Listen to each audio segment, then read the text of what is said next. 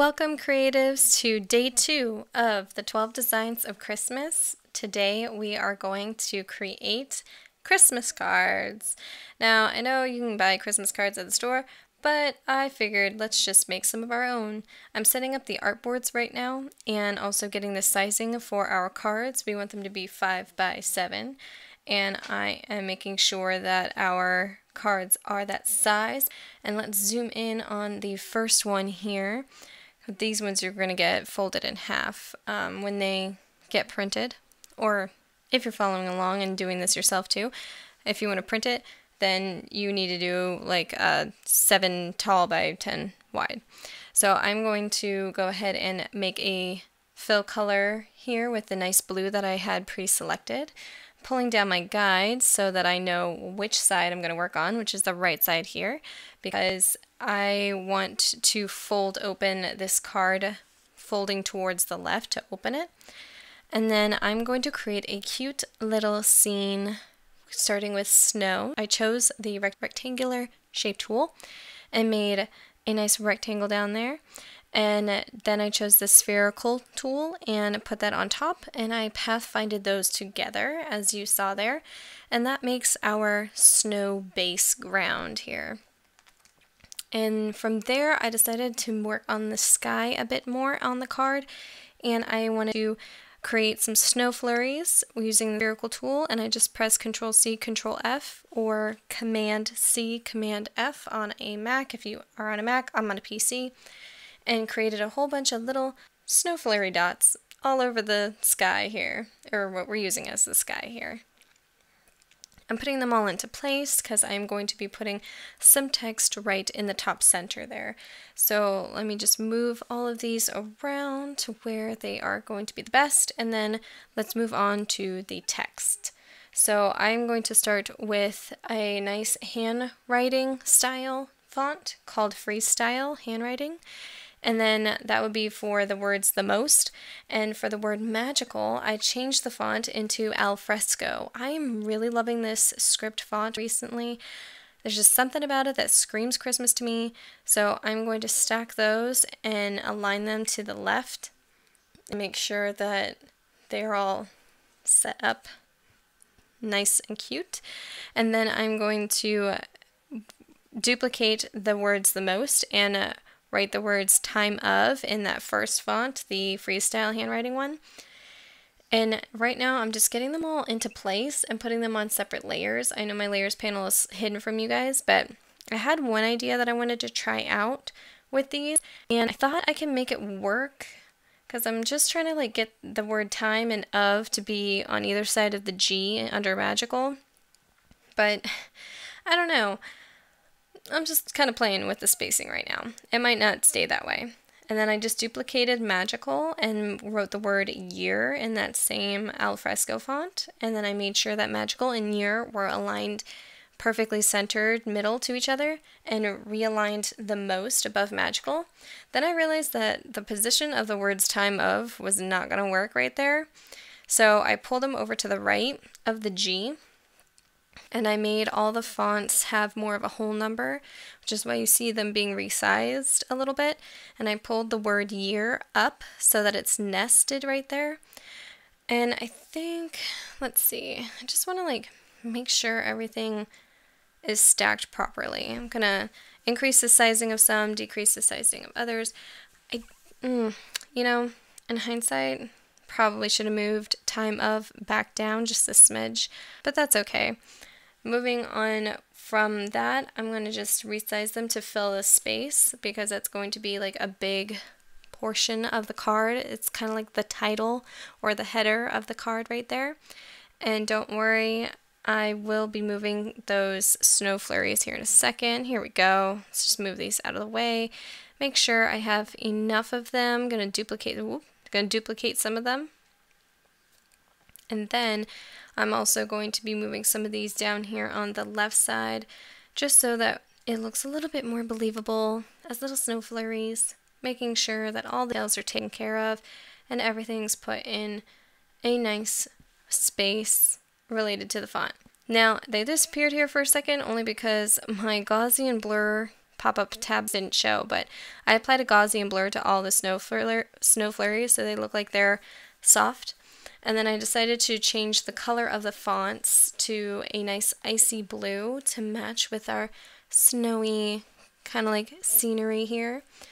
And then something that is missing is a Christmas tree. So I made, a, I started making one out of a square using the rectangular shape tool.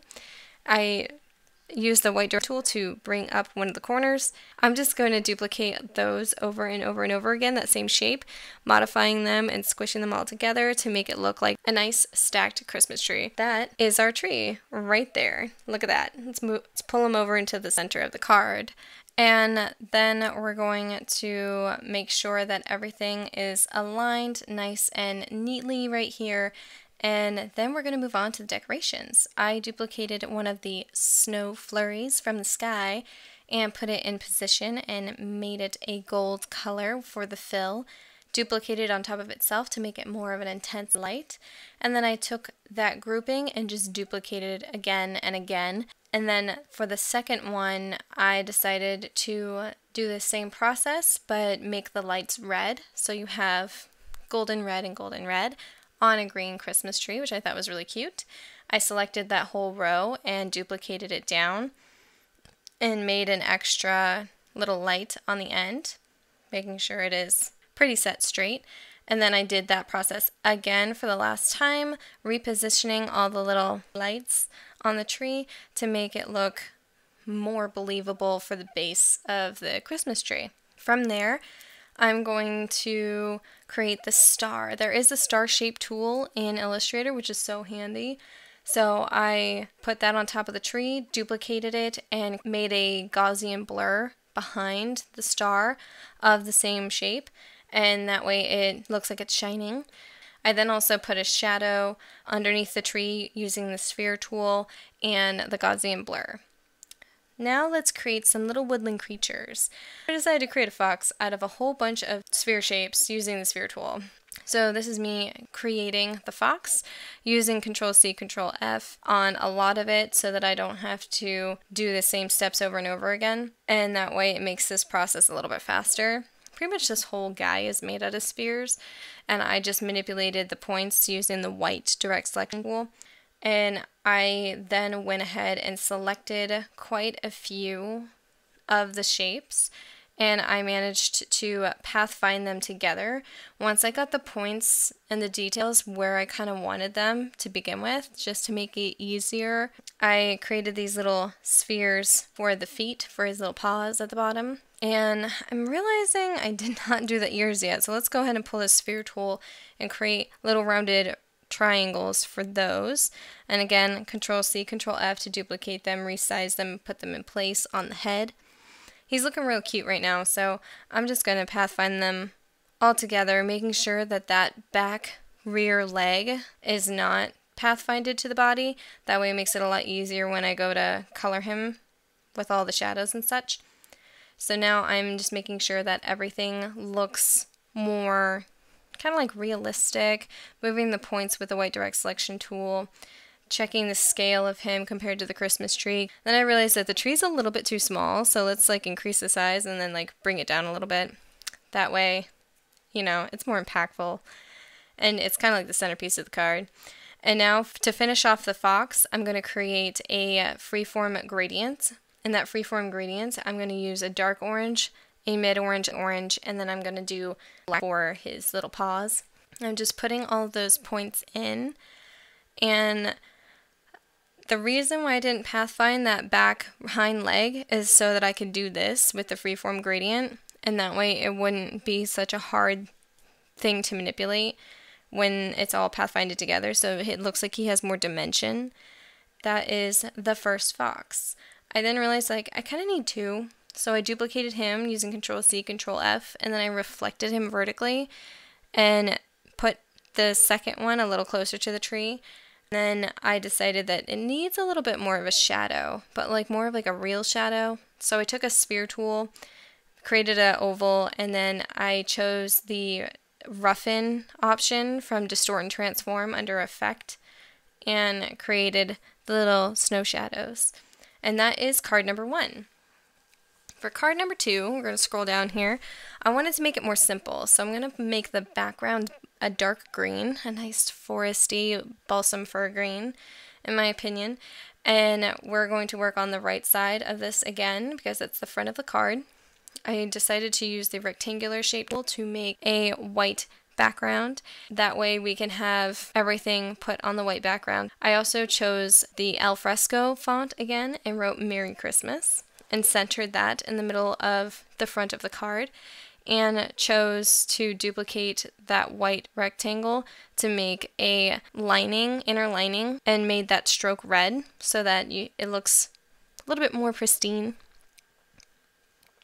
I then took the rectangular tool and created two rectangles to create a really cute truck because I wanted to make my own version of the um, coming home for Christmas with a Christmas tree type thing. So this is the beginning workings of a truck and or kind of like an SUV, I guess. So I just pathfinded, or not pathfinded. I manipulated the points of each shape with the white direct selection tool and created the windshield using the sphere tool and just manipulated those points again.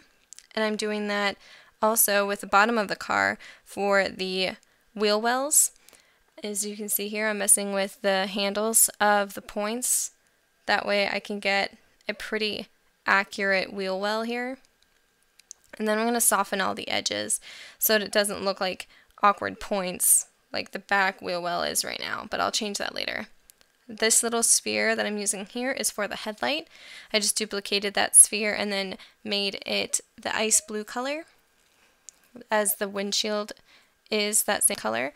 And then I used the most basic sphere shape tool to um, create a circle for the tires. Duplicated that tire for the front tire as well.